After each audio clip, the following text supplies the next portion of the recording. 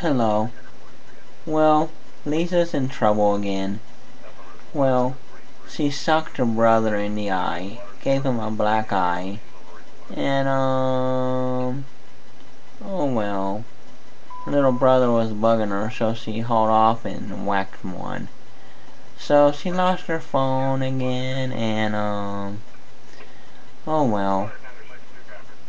Her dad took her phone and threw in the swimming pool. Yup. It's gone now. It's out of the pool though, of course, but it's gone, ruined. Oh well. Guess I'll have to get a new one.